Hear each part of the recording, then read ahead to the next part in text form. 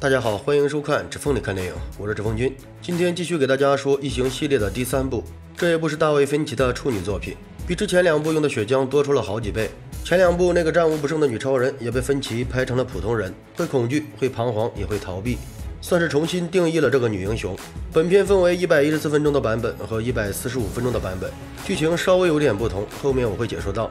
故事承接卡梅隆的第二部，苏拉克号太空船上不幸有两枚异形蛋蛋，据我个人猜测，应该是异形女王产的。女主和幸存的希克斯、纽特正在休眠，抱脸虫分泌的酸液破坏了休眠舱，太空船电线短路，发生了火灾，成员被转入逃生舱，脱离母舰，坠落到了菲欧娜复仇幺六幺号行星上的海里。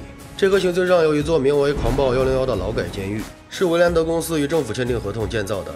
监狱里关押的都是双外染色体的恶棍，除了监狱长和狱卒，这里还有二十多名囚犯维持监狱的运转。他们主要靠信仰的教条维持秩序和纪律，让囚犯们洗心革面。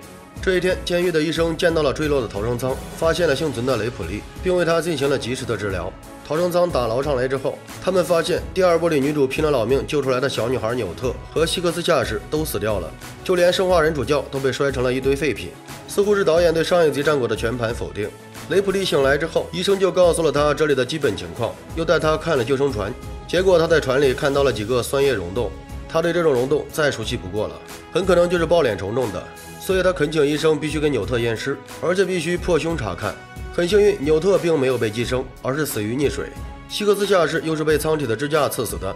那么问题来了，抱脸虫去哪儿了？医生也不是傻子，觉得雷普利肯定有事瞒着他。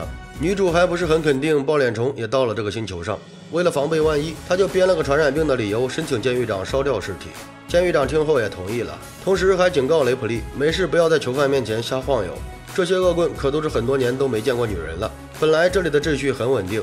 假如因为女人的到来引起他们的邪念和不必要的麻烦，那就很难控制了。与此同时呢，监狱里的牛突然死了一只，两名囚犯把牛拉到屠宰场就参加葬礼去了。可是他们根本不知道，抱脸虫袭击了这只水牛，它的肚子里孕育了一只异形。在一百一十四分钟的版本里，被寄生的是一条狗，而不是水牛。这只异形的动作也与前两部不太一样。很快，这只异形就完成了蜕皮，变成了成熟体，还袭击了一名清理通风管道的囚犯。这名囚犯突然看见怪物，吓得掉进风扇里，被搅成了碎片。第二天，雷普利为了感谢医生对他的帮助，与医生啪了一次。就算上了床，他也没有告诉医生为什么非要开胸验尸不可。而医生却在查看尸体的时候，又见到了一个溶洞，与雷普利逃生舱里的溶洞一模一样。他去质问雷普利，但是雷普利说，只有找到生化人主教的残骸，读取了救生船的航行记录，才能确定究竟发生了什么。于是女主就到垃圾场里找到了主教的身体。正要带回去时，却被几名囚犯堵住了去路。这几名囚犯意图强奸他，还好囚犯们的大哥迪伦及时出现救了他。这个迪伦是一个类似于牧师和老大的角色。另一边，三名囚犯去地下通道里巡视的时候，指引方向的蜡烛被风吹灭了。其中一人正要去查看，却被异形袭击，领了盒饭。另外二人见此情况，吓得屁滚尿流，竟然又跑回了原地，再送了一颗人头。只剩下一个疯子幸运地逃了回去。可是他逃回去之后，就说自己遇到了一条龙。监狱长见他散播谣言，就把他锁了起来。雷普利回到医院，就把主教通上电救活了过来。主教读取了飞船的航行记录之后，告诉了女主飞船坠毁的原因，还告诉他原来抱脸虫一直都在救生船里，而且公司早就通过电脑知道了苏拉克号发生的一切。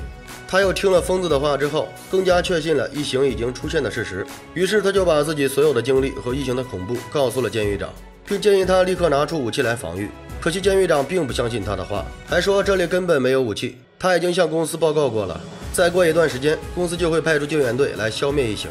在监狱长看来，他到处乱跑引发囚犯的邪念，比异形的危害更大，就派医生一定要看好他。原来医生以前是一个瘾君子，曾经因为嗑药过多误开错了处方，害死了十一个人，就被判在这里服刑。雷普利最近感觉身体很不舒服，正要他治疗，可是异形再次出现，偷袭了医生。本以为是男主角的医生，没想到这么潦草就领了盒饭。异形又嗅了嗅女主，并没有吃掉她，钻进通风管道里就不见了踪影。疯子两次死里逃生，眼睛里居然焕发出了崇拜的神采。雷普利立刻跑去报告医生被杀的情况。此时监狱长正在开会。可是女主刚刚赶到这里，监狱长也被异形拖走给杀死了，所有人都被吓得魂不附体。群龙无首之下，没有人只会应对这个局面，肯定是不行的。这些囚犯都没有指挥能力，那么唯一的军官雷普利自然被老大推举了出来。所有人都愿意接受女主的指挥。雷普利在狱卒八五的带领下查看了地下通道。这个八五是因为智商只有八十五，所以囚犯们都这么嘲笑他。地下通道里有一个没有任何出口的存放核废料的房间，还有很多易爆的火油。于是女主就想到了一个大胆的计划。用火油把异形烧出通风管道，然后逼进这个房间里，把他困死在里面。迪伦听了也认为这是目前最靠谱、最可行的计划，于是命令囚犯们在通风管道里全都刷上火油。正在他们布置陷阱的时候，一名囚犯遭到了异形的偷袭，引火棒掉了下去，引爆了大火。这场猝不及防的大火虽然烧死了几名囚犯，也把异形烧出了通风管道。他出来就追赶那个想要强奸雷普利的囚犯。结果那名囚犯走投无路之下，用自己当诱饵，将他引进了核废料的房间，这才顺利将异形困住。那名囚犯也就此领了盒饭，所有人都松了一口气。在迪伦的祷告声里，巴布和雷普利向总部发了抓住异形、请求消灭的消息，但是公司不允许他们杀死异形，因为在公司的眼里，利益才是最主要的，人命都可以舍弃。雷普利深知这个怪物的危险，看到回信之后非常失望。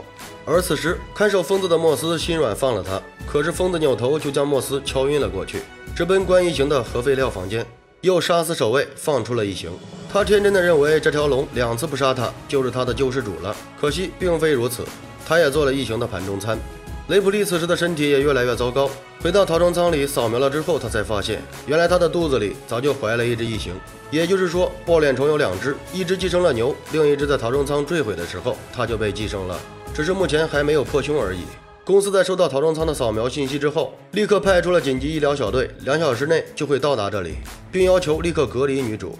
很显然是因为她肚子里的异形女王。于是女主告诉迪伦自己的情况，并求迪伦把她杀死，因为他被公司带走的话，就会被当成小白鼠一样研究，肚子里的女王就会繁殖出更多的异形，更多无辜的人就会因此而死。他还说，公司的救援队肯定不会杀掉异形，反而会将所有人杀死，杀人灭口。他的话打动了迪伦。作为牧师，他决定带领这帮囚犯消灭异形。他向幸存者们陈述了利弊，与其坐以待毙，不如主动出击。杀死异形就是迈向天堂的阶梯。于是他们计划把异形引进铸铅厂的模子里，用滚烫的铅水弄死它。很快，所有人都在通道里大声喊叫，吸引异形，然后封闭管道，逐步将异形引进了铸铅厂的铅模里。这帮手无寸铁的囚犯居然表现出了大无畏的精神，为了实现计划，也一个接一个的死去。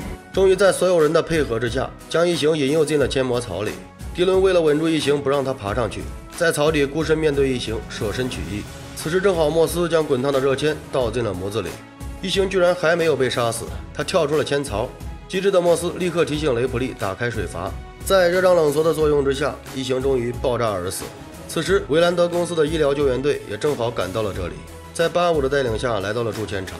公司的高层、主教的设计者也来了，他试图骗雷普利说可以救他，取出肚子里的异形，然后消灭掉，让他过正常的生活。但是雷普利根本不信，他深知公司高层的嘴脸和异形的危险，于是他决定舍身取义，消灭自己肚子里的异形女王。